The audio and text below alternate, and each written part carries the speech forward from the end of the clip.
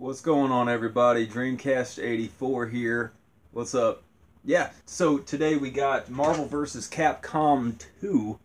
Now, we talked a little bit about Marvel vs. Capcom 1, and there's not really much to say about the second one other than it's better. There's more characters.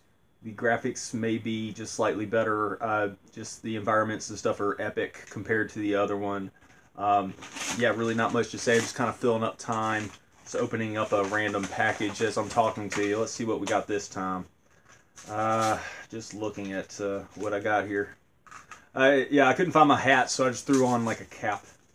Um, what is this? Uh, just regular. They they they they uh, packed this one really tight. Uh, oh, this is an EB Games memory card that I got here, and I don't want to. I, I got some other stuff, but I don't have to you know make a video about it. But um, I got a I got a rumble pack that's an EB, and I think there was like a rare electronics boutique Dreamcast that you can get your hands on. Well, it's just kind of a rare item, kind of like the Ozzfest signed Dreamcast and whatever. Right on, yeah, little weird obscure stuff, but uh, yeah, Marvel vs. Capcom 2. Let's look into this one.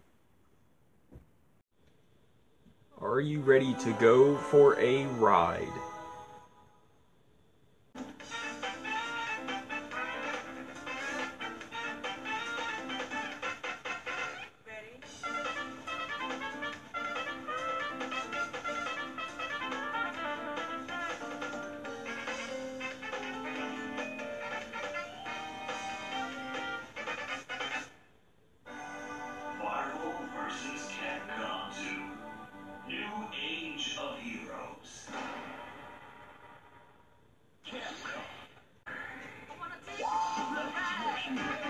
See?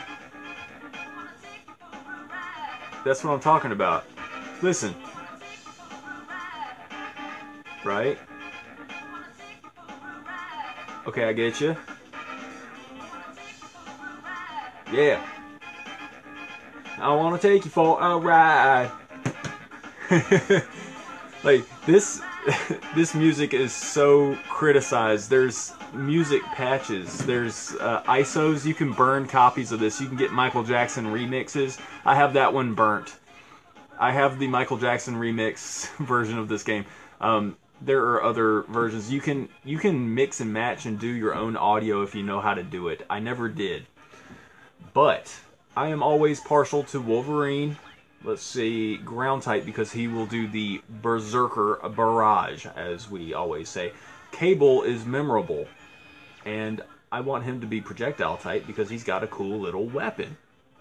And I think this, uh, I kind of want to pick this Anunnaki guy, Anakaris, but I'm going to be Iceman because he's cool. You know?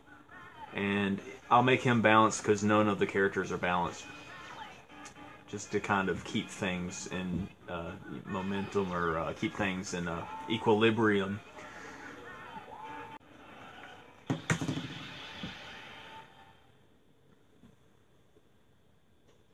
Yeah, everybody loves Marvel vs. Capcom. I mean,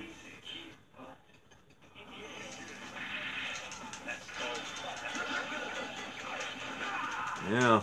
Look at how awesome this is compared to the other game. This is night and day. Uh, the first game is really good, but it, like I said, it kind of reminds me of the Sega Saturn uh, X-Men games. You know, uh, this one has a slightly different feel. The backgrounds are incredible. Uh, you know, the backgrounds are a little bit more immersive. I think. See, that's what it's all about. I love that move. I love how here recently I'll be talking about a move and then it'll show up on camera. I just love it.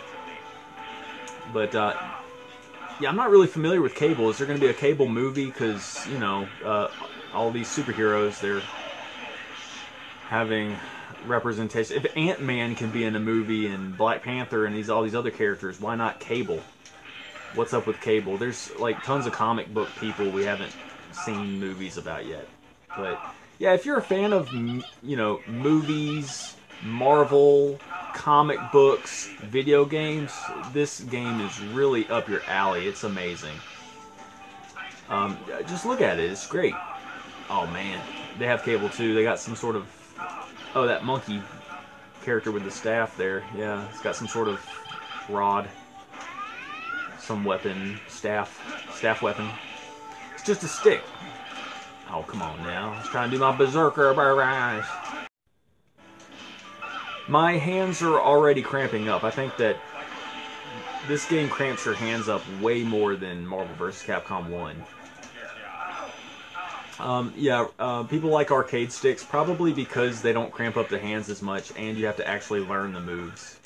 So you, you you can really get into the games a lot more if you have an arcade stick. But uh, yeah, I just I've always held off on getting an arcade stick. I just need one. You know, the official one. I, I guess I'll I'll provide an overlay. Come on now. But um, yeah, I'm gonna show different characters just for you know for example purposes.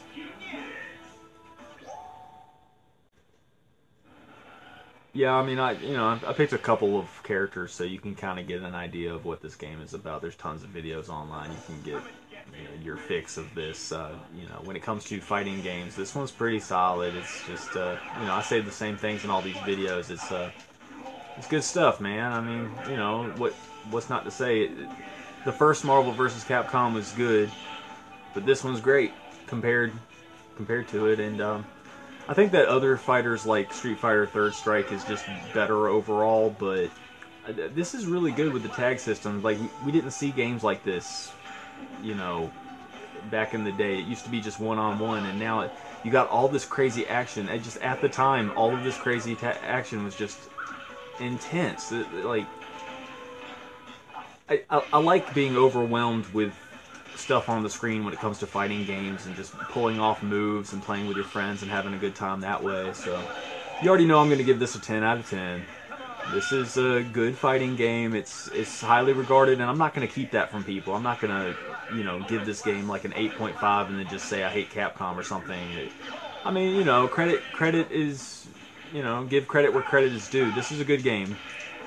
10 out of 10. Just look at it. It's uh, the sound is a little bit bad in the menu music, but the main game is okay. You know, you can pick a lot of characters, and you can unlock a whole lot of characters, too. I think there's like 52 or 56 characters you can unlock. It's insane. So, right on. I give this a 10 out of 10. I recommend. Thanks for watching.